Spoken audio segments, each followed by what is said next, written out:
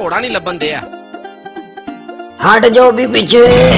ਮਲਕ shoes ਵਾਲੇ ਆ ਗਿਆ ਜੇ।